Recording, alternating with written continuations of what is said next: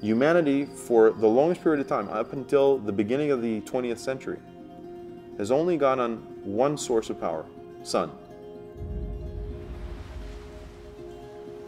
We use the sun to grow our food. We use the wind to, to churn it to, through windmills to move our boats.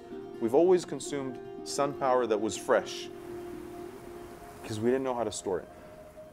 Then we figured out the planet knew how to store it 100 million years ago, and we started abusing them. We have a huge climate crisis. Today we're growing the amount of emissions. We have to figure out a way to, to slow down. This is the perfect opportunity to fix the economy and the environment at the same time because coal is not sustainable over time because of its pollution. We're going to run out of oil sometime this century. Now's the time to create a whole new set of green, sustainable jobs. In particular in the car sector, we have to figure out cars and we have to figure out a solution for oil all at the same time. You can't solve for one while destroying the others. We looked at the question of how do you get people to stop driving gasoline cars? And we figured out you can't do it by an edict. You, you have to do it by convincing the consumer to go buy a car that does not use gasoline, that doesn't use oil.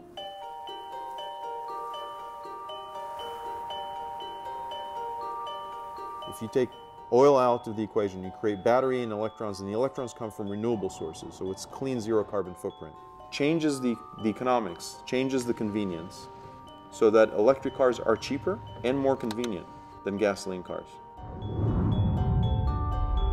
So we have a chance to solve multiple problems at once by getting our acts together at home and switching toward more sustainable energy systems and lifestyles.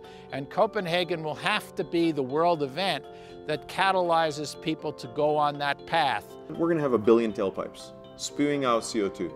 If we don't stop it, every day that passes, is harder and harder and harder to solve it. We only have 35 years or 40 years or 50 years from a climate catastrophe. There's not a lot of policy that is required from governments, but the signal, the importance, we'd like this thing to happen, is critical.